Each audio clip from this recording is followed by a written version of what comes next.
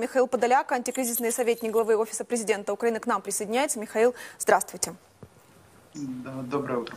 Массированная ракетная атака на Украину в ночь на 15 августа. Сегодня ночью массированная дроновая атака на юг Одесской области.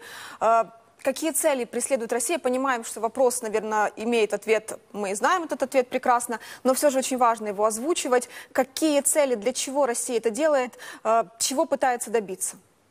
Э, да ничего не пытается добиться, убить как можно больше гражданского населения, разрушить как можно больше гражданской инфраструктуры, ну то есть, грубо говоря, придерживаться тактики выжженной земли в полном смысле этого слова, в классическом смысле этого слова. Знаете, тут очень важный аспект один. Сейчас русские, вот смотрите, очень внимательно, они четко понимают, что в Украине их не любят тотально, не переваривают просто. То есть они понимают, что все то, что они якобы пришли тут кого-то освобождать, все это не соответствует действительности. Здесь 99% населения, там, ну давайте чуть меньше, давайте скромнее, 96% населения так или иначе крайне отрицательно относятся к России. И поэтому они сейчас используют обычную тактику оккупационной группировки убивать, убивать и убивать. Просто вот есть возможность разрушать. И тут есть все-таки под цель этого. Под цель какая? Вот просто бить, убивать гражданских, чтобы в какой-то момент нервы у людей сдали и сказали, да бог, господи, давайте отдадим этим русским, что они хотят, и, соответственно, на этом, наверное, прекратятся эти ночные обстрелы, вот эти ракетные удары, дроновые удары и так далее. То есть, с одной стороны, есть желание просто убивать, зачищать землю под названием Украина. И второй вариант все-таки вызвать у людей вот усталость от э, еженочных сирен, э, каждую ночь, которые звучат от э, каждую ночь ударов по непредсказуемым целям, как правило, по гражданским целям, и, соответственно, чтобы население сказало, давайте все, отдадим все, что хотим там России и так далее и тому подобное. Вот достаточно примитивная логика. Знаете, Михаил, хотел вас спросить по поводу того, как э, мировое сообщество реагирует на эти террористические ракетные атаки Российской Федерации по э, мирным э, объектам, но вспомнил э, реакцию э, гуманитарного координатора Организации Объединенных Наций в Украине Деннис Браун на то, когда Россия ударила по отелю Рейкардс в Запорожье. С вашего позволения процитирую эту реакцию. Я потрясена известием, что отель, который часто использовали сотрудники ООН и наши коллеги из неправительственных организаций для поддержки пострадавших от войны, только что попал под российский удар в Запорожье. Это абсолютно недопустимо. Российская Федерация – член Совета Безопасности ООН. Э, выходит, что член Совета Безопасности ООН может э, спокойно бить по базе ООН? А, вы знаете, ну, что значит э, спокойно может быть или член безопасности? На самом деле Россия демонстрирует, что нету никакого Совета Безопасности ООН, нет, нету никакого международного права, нету никаких ограничителей, которые могут страну, вот, э, которая ведет себя на глобальном рынке, подобным образом как-то останавливать. То есть эм, Россия э, говорит нам, что есть только добрая воля. Вот если страна готова, соблюдать какие-то правила, она их будет соблюдать. Если страна готова беспредельничать, она будет беспредельничать, и никто не может эту страну остановить, ну, по крайней мере, пока. Вот и возвращаясь к общей реакции международного сообщества как такового, безусловно, исходя из того, что они находятся в гуманистическом, скажем так, в гуманистическую эпоху живут, конечно, они нам сочувствуют, конечно, они э, переживают за то, что происходит, конечно, они высказывают слова э, поддержки и так далее и тому подобное. Тут другой вопрос не всегда интеллигент готов э, на равных э, сражаться с, с такой страной, как Российская Федерация, имеется в виду с гопником и так далее. Ну, то есть, как бы нет инструментов у них. Мы им предлагаем э, найти эти инструменты. Это называется «передайте нам оружие». Мы готовы наказать Россию за то, что она демонстративно обнуляет те правила, в которых вы живете. Ну, к сожалению.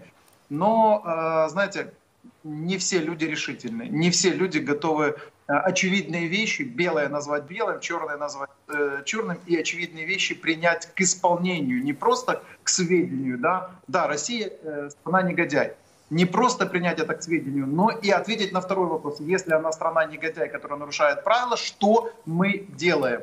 И в данном случае звучит э, позиция Украины, мы готовы эту страну негодяй наказать, но для этого нужны соответствующие инструменты, юридические, например. Вы могли бы приостановить членство России в, в том же Совете Безопасности или дать лучше дать ей статус страны-террориста э, физические средства, это оружие, которое нам необходимо, информационное средство, То есть вы будете масштабировать сообщение о том, что Россия ведет геноцидного или там террористического типа войну, нарушая э, общепринятые правила и международное гуманитарное право, и международное военное право, и международное морское право и так далее и тому подобное.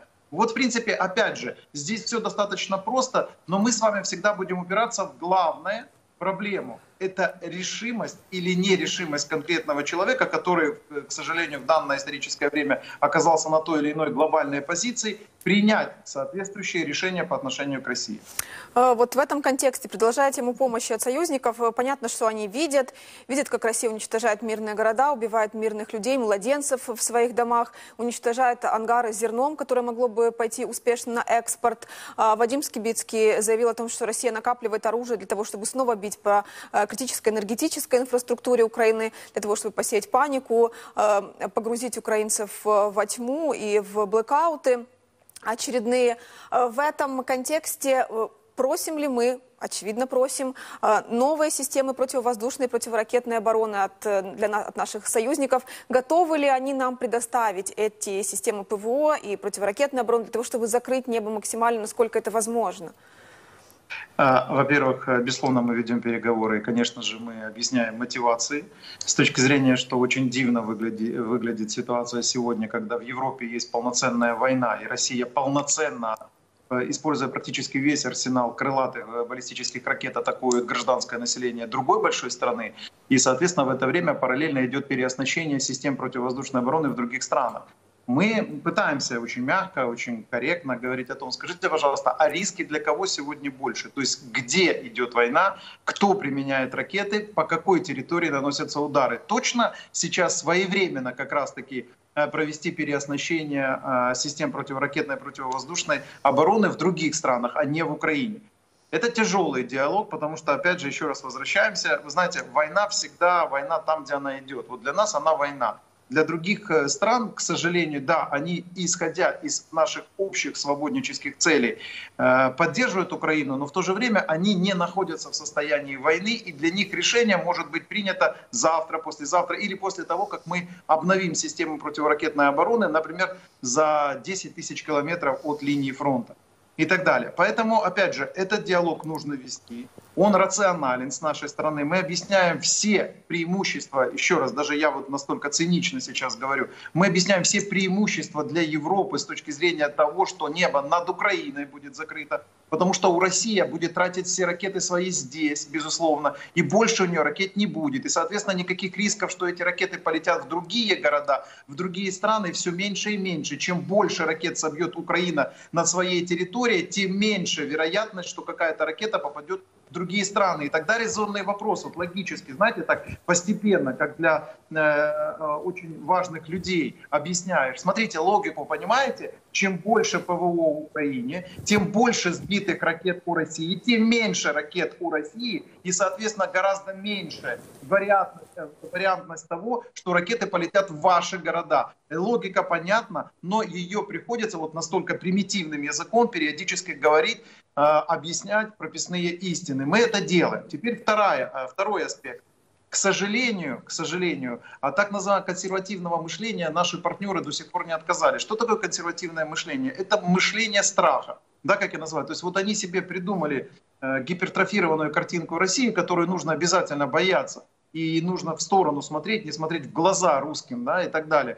И вот они до сих пор частично придерживаются вот этих мифов, вот этих иллюзий, что Россия это страшная страна. Конечно, страшно с точки зрения варварского поведения, но с точки зрения того, что ее можно уничтожать, наказывая за те преступления, которые она совершает, это несомненно. Но вот консервативное мышление, к сожалению, продолжает работать. И третья составляющая. Вы видите, периодически возникают дивные предложения, дивное предложение, которое так или иначе э, можно описать одним словом. А давайте-ка все-таки сохраним лицо России. Вот давайте-ка все-таки сделаем так, чтобы, несмотря на весь этот геноцидный ужас, который она сегодня демонстрирует, на вот весь этот ужас обнуления международных правил, давайте-ка мы позволим России в таком виде дальше сохраниться. Вот это самое странное ощущение вызывает, а когда люди после 18 месяцев войны в Европе периодически выходят, а давайте-ка что-то отдадим России для того, чтобы она могла э, как-то выжить, сохраниться в таком виде и дальше наш унижать. Ну, то есть они практически прямо нам говорят, мы хотим, чтобы нас продолжала Россия унижать, поэтому давайте пойдем навстречу России и что-то позволим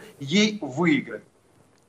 Вот э, продолжая тему странных заявлений, о которых вы говорили, э, заявление главы канцелярии генсека НАТО Стиана Йенсена о том, что Украина могла бы получить членство в Альянсе в обмен на некие территории. Интересен ваш комментарий по этому поводу. И скажите, как вы думаете, что это? Это эм, в исполнении э, господина Йенсена такой ценностный эквилибр или все же это устойчивая позиция? А, на мой взгляд, это проявление малого понимания того, что сегодня происходит. Абсолютное незнание России продемонстрировано, абсолютное незнание природы этой войны, абсолютное непонимание того, каким последствиям приведет э, подобное даже публичное высказывание. Это, по сути, прямое поощрение агрессора к совершению дальнейших преступлений. Не существует компромисса. Я понимаю, что, знаете, э, выглядит следующим образом. Мы понимаем риски, ну вот, скажем так, коллективный, коллективный орган под названием НАТО об этом говорит, мы понимаем риск. Но при этом мы понимаем э, математику войны. Теоретически мы ее понимаем. Вот что учебники у нас стоят на столах, мы о них говорим всегда красиво. Мы даже э, теоретические учения проводим всегда, где мы говорим о том, какие должны быть паритеты на поле боя и так далее. У вас этих паритетов нету, тем не менее вы продолжаете сражаться, и тем не менее вы подвигаете Россию, отодвигаете. Россию со своей территории. И тем не менее, мы вот, ну, настолько боимся до сих пор, что мы предлагаем все-таки подумать о следующих вещах. Давайте первое. Давайте все-таки обнулим международные правила. Ну давайте Россия, которая совершила такой объем преступлений, э, продолжит их совершать. Второе. Давайте-ка войну эту подзаморозим, так как хочет Россия. Она, несомненно, хочет заморозить. Что хочет сегодня Россия? Для России очевидно, что выиграть эту войну не получится, что захватить всю Украину не получится, но это не отменяет главной желание России, мы с этого начинали сегодня, это просто убивать украинцев. Ну, то есть пока не будет уничтожена государственность в целом. Соответственно, для России на данном этапе нет готовности продолжать войну высокой интенсивности. Россия хочет снизить резко интенсивность. Даже может там полностью прекратить на какое-то время огонь, зафиксировать новую линию разделения, зафиксировать себя на оккупированных территориях, продолжить там формирование инженерной конструкции обороны, э, вкладывать деньги в милитаризацию, перестроить практически всю экономику на военные рельсы проспонсировать много террористических организаций, которые будут атаковать Украину уже другими способами, усилить влияние гибридных информационных технологий на европейском рынке и так далее. То есть мы предлагаем России вот это все сделать. Да, да, давайте заморозим. Вот мы хотим, ну я имею в виду вот это предложение, оно звучит следующим образом. Давайте-ка позволим России апгрейдить все свои технологии убийства украинцев, накопить дополнительные ресурсы. И, и теперь следующий пункт, третий, очевиднейший пункт мы обязательно хотим, чтобы вы войну принесли для своих детей, передали ее детям, как эстафету. 14 год, 22 потом следующий, там, 25 32 и так далее и тому подобное, чтобы ваших детей тоже убивали. Нам это очень нравится. Мы понимаем, что Россия не пройдет сквозь Украину, она не будет угрожать странам НАТО, вам она будет угрожать, это однозначно и так далее. И, наконец, третий вариант. А кто вам сказал, что, в принципе, можно будет э, получить вот такой примитивный обмен территорий в обмен на членство в Альянсе? Во-первых, будет ли акцептирована пятая статья в случае возникновения очередного этапа войны? Вы точно уверены в этом, что будет? Второе, будет ли быстро преодолена бюрократическая процедура вступления? Вы точно уверены в этом? И так далее. И в это время Россия действительно же будет как законопослушный такой агнет, да, сидеть в окопе и говорить, не-не-не, мы подождем, пока вы там укрепите свою оборону, пока вы действительно вольетесь в альянс, пока вас насытят столько оружием, чтобы мы потом действительно воевали в гораздо более сложных условиях. Ну, я, честно говоря, даже не понимаю, зачем настолько инфантильно выглядеть в глобальном информационном э, потоке. Чтобы что? На сегодняшний день не существует ни одного варианта, э, который при, привел бы к компромиссному решению. Их нету.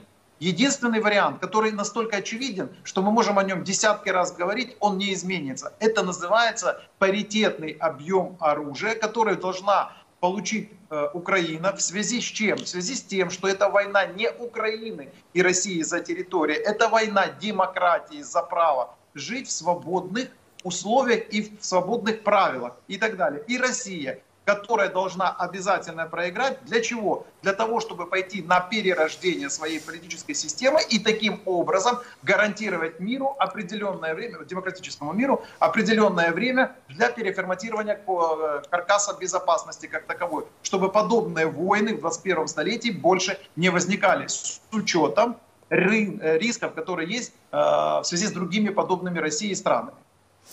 Михаил, о саммите Большой Двадцатки в Индии в сентябре на сайте саммита официальном появились приглашенные э, члены и не члены организации. Вот среди нечленов Украины нет в списке приглашенных. Зато есть Путин, Россия, как э, страна-член Большой Двадцатки. Приглашения разосланы. Непонятно, будет Путин, будет ли российская делегация представлена на этом саммите. Пока нет информации об этом. Почему Украину не пригласили? Ждали ли мы приглашения Украина? И будет ли тема войны в Украине звучать на этом саммите? Что об этом известно? А, первое. Безусловно, Безусловно, Россия будет присутствовать на G20, безусловно, без президента э, Путина, но будет присутствовать для того, чтобы использовать эту платформу как, э, соответственно, опять же, агитационную площадку, на которой можно будет еще раз промоутировать войну. Я при этом еще раз хочу подчеркнуть, тут нет никаких э, сложностей в понимании, что это война классического террористического типа, оккупационного типа, это захват чужой территории и массовое убийство граждан чужой территории. Тут нету никаких освободительных войн, ничего. Но тем не менее Россия будет использовать G20, собственно, как промоционную площадку, как она делает Э, все время пытаясь зайти там или в спортивные федерации, или в культурные какие-то э, федерации, или поучаствовать в каких-то саммитах и так далее и тому подобное, России нужна промоция войны как таковая, особенно среди стран так называемого глобального юга, чтобы они по умолчанию поддерживали право России убивать и уничтожать Украину. Это первое. Второе. Безусловно, мы об этом говорили в начале. Э, к сожалению, не все международное сообщество понимает, что на их глазах обрушают правила, по которым оно живет. И вот почему-то, вы знаете, так, знаете, мазохистски часть международного сообщества идет по этому пути и готова к тому, что в мире не будет существовать правил, которые гарантируют какие-то стабильные отношения, межгосударственные или там союзные отношения и так далее и тому подобное. Я не могу понять эту мазохистскую наклонность целого ряда стран прийти к аб- абсолютному обнулению международного права как концепции и так далее. А, третья составляющая. Несомненно, нам, а, ну давайте дождемся того, будет ли э, окончательное решение принято о присутствии Украины в том или ином виде или нет. Все-таки переговорный процесс идет. Тут очень важно понять, чтобы мы знаете, не преувеличивали, как мы иногда любим, к сожалению, Украина любит иногда, да, там, проводим какие-то встречи, например, с представителями Индии или с какими-то другими странами, просто встречи, номинальные встречи, а после этого говорим, что мы нашли понимание, взаимопонимание. Нет, у нас на сегодняшний день нужно еще пройти большую дорогу, чтобы найти взаимопонимание со странами глобального юга. Это тяжелая дорога. Э, э, положено было хорошее начало на саммите, конституционном саммите в Джиде, в Саудовской Аравии, где с этими странами достаточно доверительно разговаривали. Но тем не менее, это тяжелая дорога. Здесь еще много нужно будет провести переговорных раундов, много провести консультационных раундов. Я имею в виду и Китай, и Индию, и Бразилию, и другие страны, э, и БРИКС, и глобального юга, и так далее. Это тяжелая, еще раз подчеркиваю, работа, и поэтому не надо думать, что если мы там провели одну-две встречи с представителями Индии, то мы уже с ними там в дружеских отношениях. Почему? Объясню. Индия сегодня крайне заинтересована в слабой России, потому что для Индии это выдающееся время получить очень качественную цену на большие объемы сырья и, соответственно, выглядеть совершенно иначе на глобальном сырьевом рынке. Я имею в виду именно для Индии как реципиента российского сырья. И Индия получает с этого очень и очень существенный э, дивиденд. Это первое. И второе, и Индия вместе с другими странами глобального юга чувствует свою большую политическую субъектность в связи с тем, что они занимают якобы нейтральную позицию. И таким образом чаще выходят на какие-то комментарийные площадки, и там дают свою оценку тем или иным глобальным событиям. То, чего не было до момента крушения российской концепции войны как таковой. Поэтому нужно все это оценивать правильно, спокойно. Еще раз подчеркиваю, я не вижу здесь какой-то там катастрофы и так далее. Это вопрос переговорных возможностей э, Украины. Да, но Индия еще, кроме всего прочего, у России закупает э, вооружение и в достаточно больших количествах. Вот это а, вот... Я, честно говоря, Сейчас э, вернемся к вооружению российскому. Я, честно говоря, не совсем понимаю, как можно вообще э, иметь контракты с российским ВПК, потому что российское ВПК абсолютно точно обнулено в этой войне. Да, у них большое количество апгрейженного советского оружия, да, его можно использовать, они его используют. Это действительно тысячи, например, тех же артиллерийских стволов 152, 122, Д-20, Д-30 и так далее. Это множество танков, э, как правило, это 72-е и мало 90-х э, прорывов и тому подобное. Я, честно говоря, не совсем понимаю, где российский ВПК может продолжать эффективно продаваться. Почему? Потому что эта война показала, что Россия отстает там с дисконтом 10, 15, 20 лет от современных э, разработок. Другой вопрос, что мы в количество количественно не имеем паритета с Российской Федерацией. Это другая история. Но если бы у нас с вами был паритет, то, несомненно, эта война выглядела бы совершенно иначе. С точки зрения высокоточного оружия и с точки зрения контроля над ситуациями по линии фронта как таковой. Я не вижу э, перспектив э, в развитии российского военно-промышленного комплекса. Я не вижу перспектив, э, чтобы российский военно-промышленный комплекс доминировал. Другой вопрос, что Россия хитрым образом долгое время странам там, со специфическими, скажем так, представлениями о войне продавала старую советскую технику, которую она апгрейживала. И, безусловно, она сегодня пытается продолжать эти страны консультировать. Мы понимаем все эти страны и понимаем, что они там получают от Российской Федерации. Но есть вторая, второй аспект у России дефицит сегодня старого советского оружия. Она все это оружие отправляет на украинский фронт. Ну, вы должны понимать. То есть Россия сегодня несостоятельна в выполнении тех или иных, даже э, традиционных для себя постсоветских контрактов.